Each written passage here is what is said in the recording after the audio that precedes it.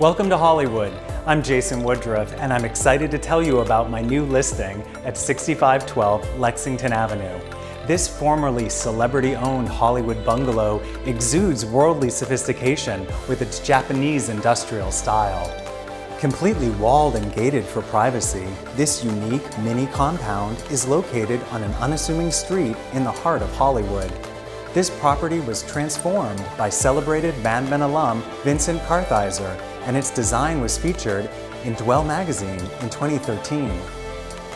This perfect starter house, or pied-à-terre, has an open floor plan with high vaulted ceilings. Built-in cabinets in the living room area contain the home's entertainment console and TV above a gas fireplace with crushed glass. The kitchen has dark stone counters and stainless steel appliances, including a gas range oven. A red theater curtain emerges from a closet to enclose the bedroom space.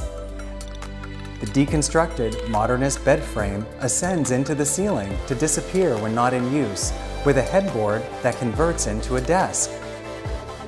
Large closets and a full bathroom are hidden behind custom shoji-inspired screens, offering a stone shower, soaking tub, and custom boulder carved sink. French doors lead outside to the private covered courtyard with built-in seating surrounding a fire pit. A detached cabin features a luxurious spa with double showers, a steam room, and a dry sauna, as well as the laundry room and an additional bathroom. Located on a quiet, tree-lined street just north of Santa Monica Boulevard, this house is within a few blocks from cafes, theaters, nightlife, restaurants, and fitness clubs. Thank you for checking out our virtual open house. Please be sure to subscribe to get notifications about our newest listings, and feel free to leave your comments below.